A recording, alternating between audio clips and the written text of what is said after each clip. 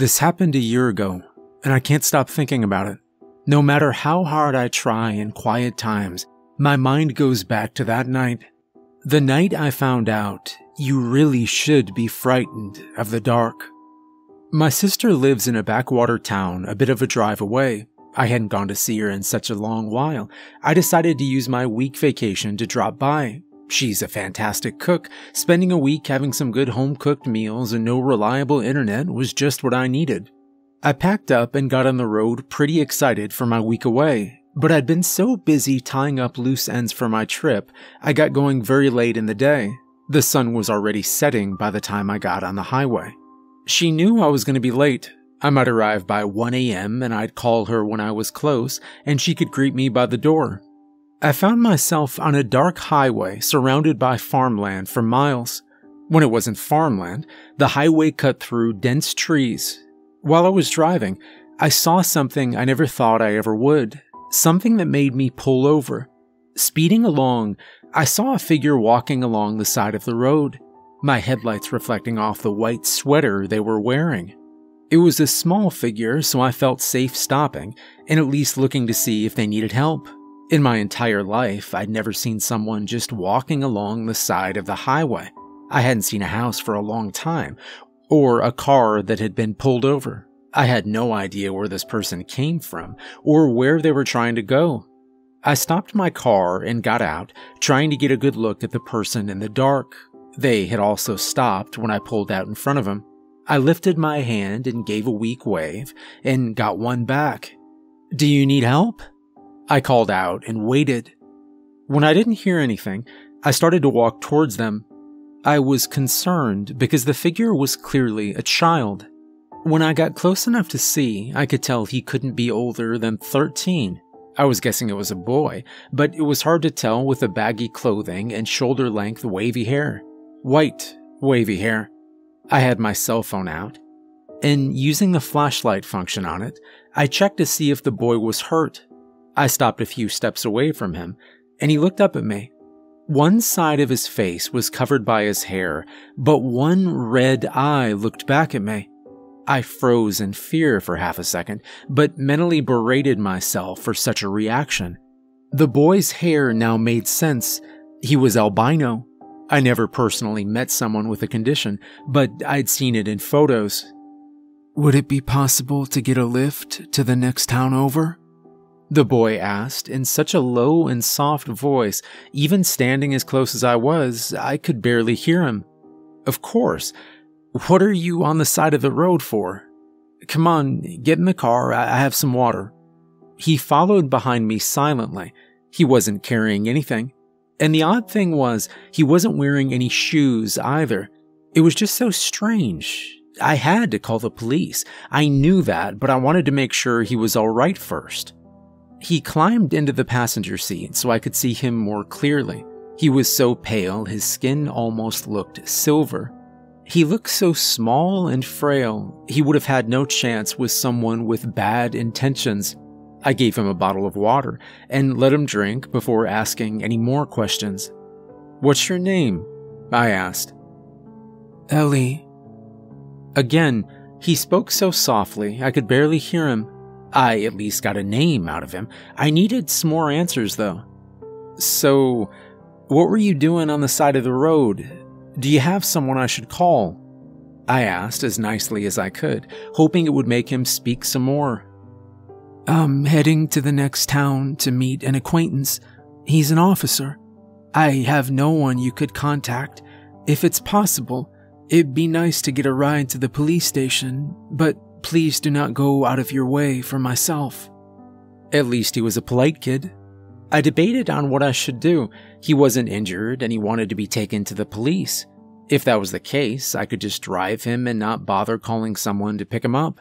It really wouldn't be any trouble to myself, and he wasn't a threat to me either. He was so small, even if he pulled a weapon, even I could swat it away. I decided to take him where he needed to go. All right, uh, I'll take you. Are you sure there isn't anyone I can call? I asked once more. He only shook his head. Either the poor kid really didn't have any family, or he was running from them. At least he was on the way to some help, so I decided not to press the matter.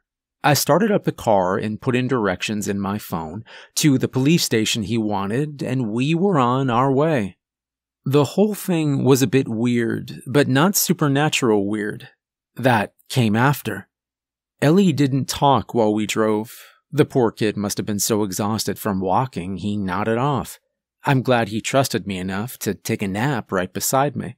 I would send a message to my sister later, telling her I'd be late. We drove in silence for a little while when I saw yet another thing I never expected to see. A car just sitting in the middle of the road. I saw it soon enough that I slowed down and stopped a few feet from it, just staring at the odd sight. We were on the highway, but it was the dead of night and I saw no cars.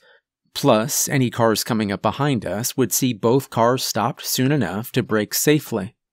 The car had both the doors open. It sat on a strange angle, idling. When I reached to undo my seatbelt and get out to see what was going on, I felt a small hand on my arm, and it made me jump. Keep driving. Ellie's voice was so stern, it froze me in my place. It was no longer the voice of a soft spoken child I'd heard before. But someone could be hurt. I stammered, not knowing how to react. They're already dead.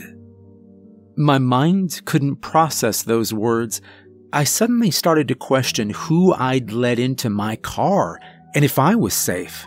But my rational mind said that the car in the middle of the road was a trap. Once I got out, I could be dragged into the middle of the woods by whoever put the car there to start with. Movement made me pull my gaze away from Ellie and to the road. Out from the front of the car, a large dog came trotting out, staring at us. At first, I thought it was a breed of husky, but it took me a few moments to realize my mistake. That wasn't a dog, but a wolf. I'd never seen a wolf in person before. They were much bigger than I ever thought. Its yellow eyes stared us down, waiting for us to react. Then another came from the trees. This whole thing was crazy. My mind couldn't put together the two facts of a car in the middle of the highway and wolves wandering around it. Wolves weren't native to the area, coyotes maybe, but not wolves. If the car was placed to ambush people, then why were wolves in the area? I didn't understand any of it. I understood less when the wolf by the car started to stand up. My throat and body tensed as I saw the creature seamlessly turn from a wolf just standing on its back legs to a hulking, monstrous form that towered in the darkness before us. Drive, Ellie ordered, and his hand gripped into my arm, hurting just enough to bring myself back. I. I don't understand, I said, still a bit dumbfounded. Silver King, oh Silver King, a pleasure running into you here. Come out to greet us. The figure standing in the road roared at us in a booming voice and outstretched its clawed arms in greeting. It was covered with a dark, rough fur, with a body similar to a man. Its head was large, but looked like the wolf that had been looking at us seconds before. Its legs were the same of the wolf also, and I wondered how it was even standing. Behind it, a tail nearly half the size of its body moved back and forth. Is that. is that a werewolf? I asked, the idea sounding completely insane. Monsters weren't real, they just weren't. I couldn't believe what I was seeing, but it was in front of me, standing there, beckoning us out.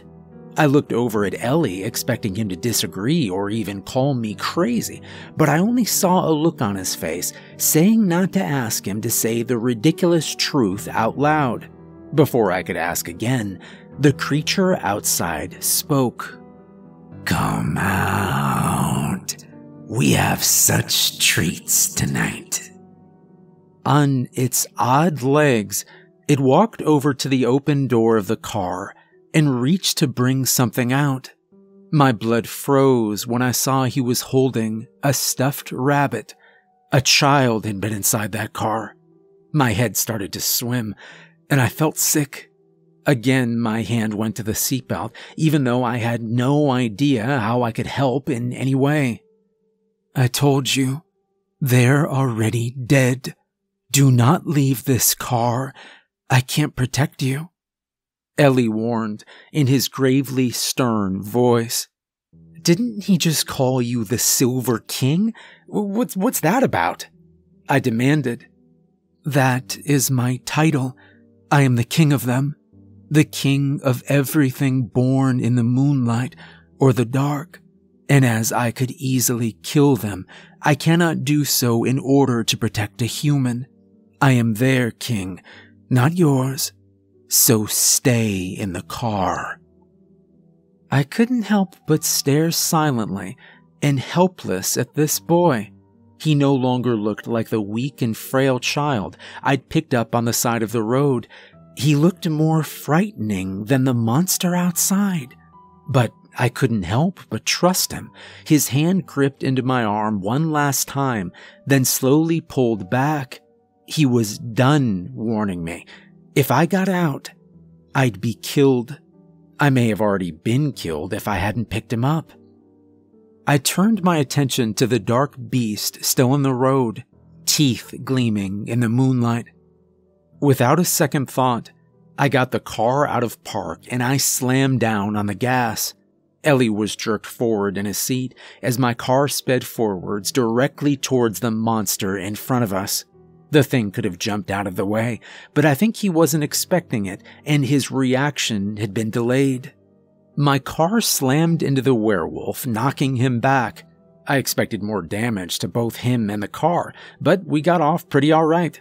That was until I pulled the car in reverse and ran directly over the creature's legs, it howling in pain. It wasn't good for my junker of a car, but it was worse off for the wolf.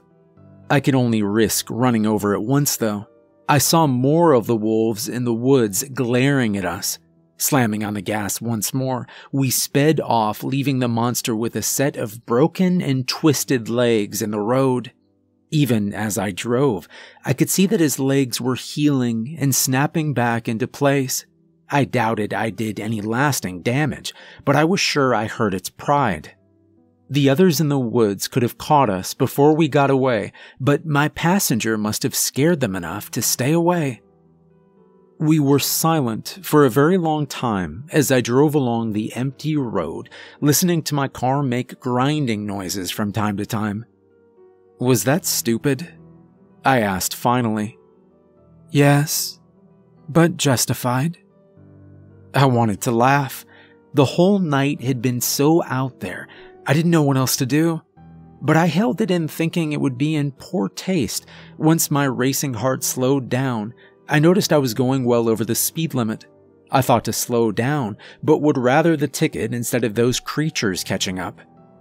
Ellie didn't talk to me again until we arrived at the police station. Are those things gonna find me? I asked slowly. No, I doubt it. They're unaware of your relationship with me. If you had some future use and they killed you, I would be very upset with them. And creatures of the night do not wish to upset me. I sighed in relief, but it came too soon.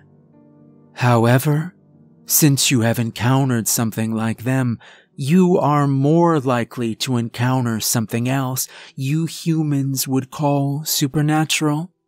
You are almost guaranteed to be killed by a supernatural threat after surviving the first one. I am unsure of when that shall happen. It could be when you're a hundred or a week from now. Going by your luck, seeing as you came across myself and a pack of wolves in the same night, I think you don't have a long life. I should have been worried about my bleak outlook, but I couldn't help but want to laugh again by Ellie apparently being embarrassed calling them werewolves. I wonder why he disliked it so much. So, is there anything I can do about that? I asked, hoping for a good answer. Enjoy the life you have left. You humans could die in any second. You just so happen to know the most likely reason why you are to perish. I would suggest not to fear it. Just live the way you would like. It wasn't the answer I was hoping for, but I'd take it. My face fell, trying to figure out what my life would be like from now on. How I'd be able to live knowing there were things in the dark just waiting for me.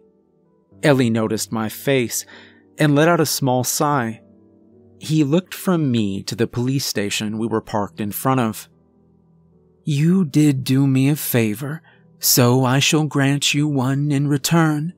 If you come across something of the night, and if you have time to do so, tell them you are useful to the Silver King. However, you may only use my name once and I do not promise the thing you face shall spare you. It only gives you a better chance of survival. I didn't know much about his world, but even I could tell that was a great big favor he was giving me. I was thankful for it. Just dropping his name may give a few more years onto my life. He saved me twice that night, and all because I just gave him a ride. Thank you, I gave him a smile and watched as he got out of the car. I waited until he was on the steps of the police station out of habit. He could handle himself, but I still wanted to make sure he got safely inside.